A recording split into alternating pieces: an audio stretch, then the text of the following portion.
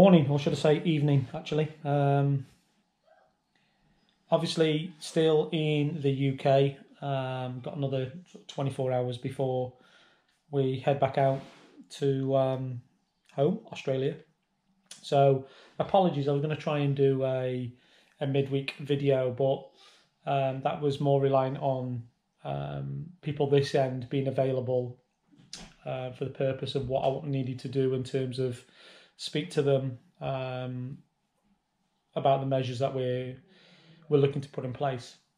So what I've done is um, we're now sort of Saturday. Um, I'm just gonna go through a couple of things and let you know exactly where we're at and what's what's happening. A lot of people would have um, would have seen in 2018 we established a relationship with a with a uh, professional league here in the UK, and it was with a friend of mine, an ex-colleague, who I did a lot of work with back in around 2006 2007. We both worked on the steering group for the the, the Youth Alliance.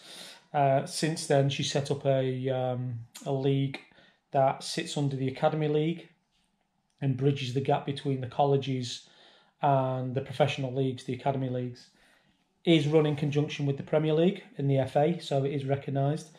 Um, and I'll just give you a, rundown of some of the teams in that league. So you've got the likes of Brighton, uh, Brentford, Burnley, Chelsea, Crystal Palace, Everton, Reading, Leeds, Liverpool, um, Norwich, Newcastle United, Huddersfield, Portsmouth, QPR, Stoke, Sheffield United, Sunderland, Tottenham, Watford, just to name but a few. Uh, and a lot of these clubs um, or organisations and teams are actually shadow teams. So I want to make it clear that they're not actually the academy, they're actually the team underneath the academy. So they are feeder teams. Uh, and from these leagues and these teams, a lot of players, in excess of 60 players, have gone on to gain professional contracts. So the reason for the establishment of this this partnership and uh, relationship was to to offer a pathway for our best young players, not just at our football club, but any football club. To be honest with you, uh, and we're not looking to to move kids from Australia to the UK or Europe for that matter, but we're just trying to open the network because we understand there is a number of talented footballers in Australia that um, require higher level of competition uh, and a higher level of challenge and being approached by a number of parents and organisations to ask if there is something that is outside Australia. Part of our job as youth development coaches is provide an exit route and pathway. So also in line with that is to provide players for the uh, the pathway for Australia as well. So what we're trying to do is meeting the needs of the players and service that needs. Again, must make it clear that we're not saying that any boy or girl is going to have the opportunity to gain a professional contract from this because that would just be a blatant lie, and I'm not going to lie. Uh, what it will do is provide them with the opportunity to have many sets of eyes on them to uh, to potentially push on. There is the option for kids or players to have the opportunity to uh, to be offered professional contracts. Of course, there is, but there's a number of factors that um, that encompass that as well. Uh, players have to have uh, access to a European passport, mainly a UK passport now because of uh, Brexit. So there's a there's a lot of uh, red tape, if you like, so hence why I said, you know, we're not going to be selling people a dream and saying you're going to be playing in Man United's first team in three years' time because that would just be a blatant lie. And this is more so for post 16. So uh, it is also to help them um, with their further education. So there is academia attached to it. Uh, but the league that they will be playing in is against other professional shadow group, shadow teams, etc. So um, I don't want to mislead anybody. And again, I must make it clear not looking to purposely take players away from Australia, just want to provide another avenue for talented players who do want to explore the network uh, globally. So, uh, what I'll do is I'll just give you a brief rundown. I'm conscious it's five minutes already. This um, this video. I'll give you a, a, brief rundown of what we're looking at doing, um, and the way we want to do it. So we're looking at sending players post 16. So when boys and girls, uh, because there is girls attached to this as well, uh, turn 16, they could potentially come over to the UK and be placed in one of the clubs I mentioned. There's various other clubs uh, at different levels, Rochdales, Mansfields, as well as you know the Championship clubs, the Barnsleys, um, the West Broms, and then obviously the Premier League clubs as well. So we would pitch the the players at the right level.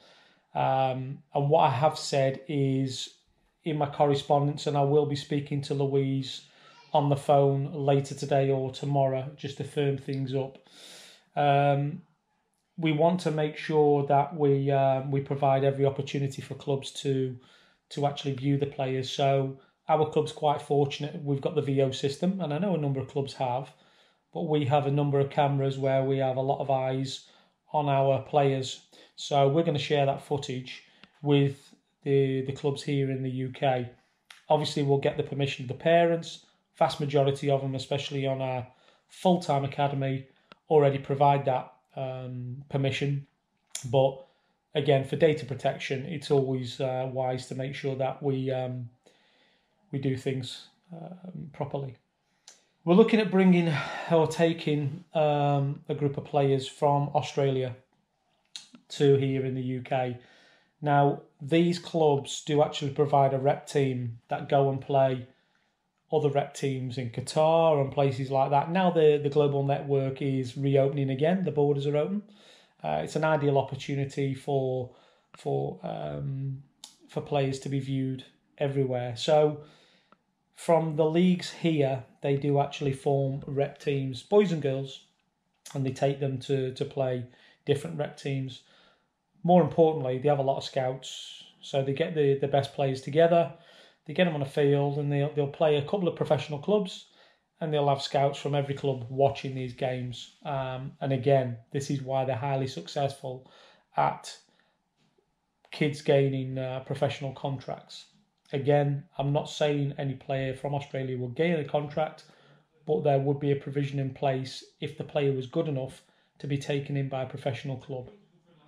Again, this is not us or me um, trying to make money. There's no money involved in this.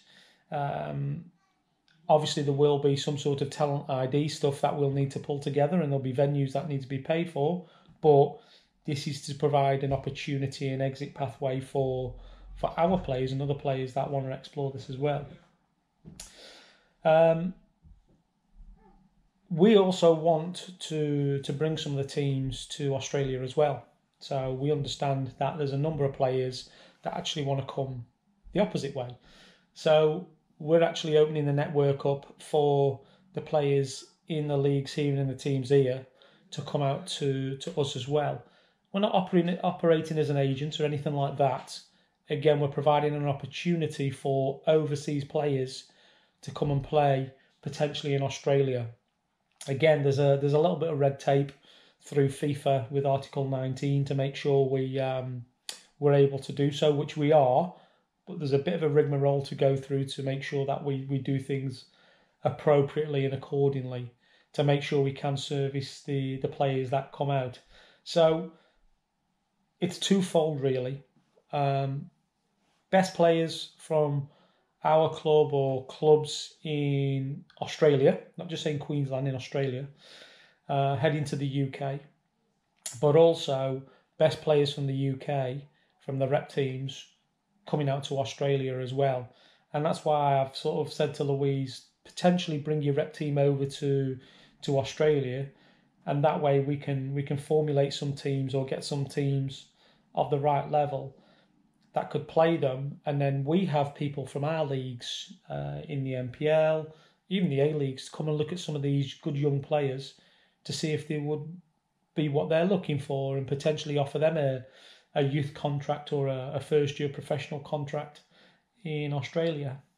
So that's 10 minutes I've just done there uh, talking away. But I wanted to provide you with an update on exactly where I'm at. Um, as I said, I'm not over here on a jolly up.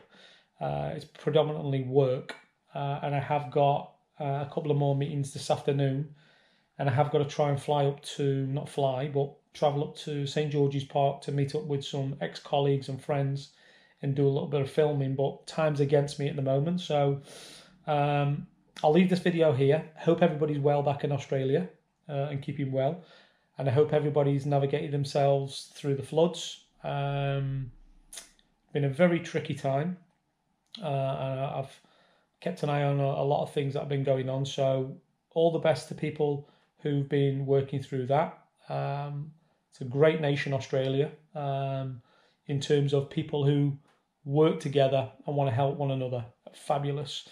So I'll leave it here. I'll touch back base with you again. Still jet lagged.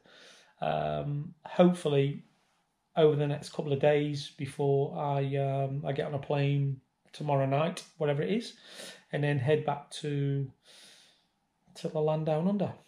Okay.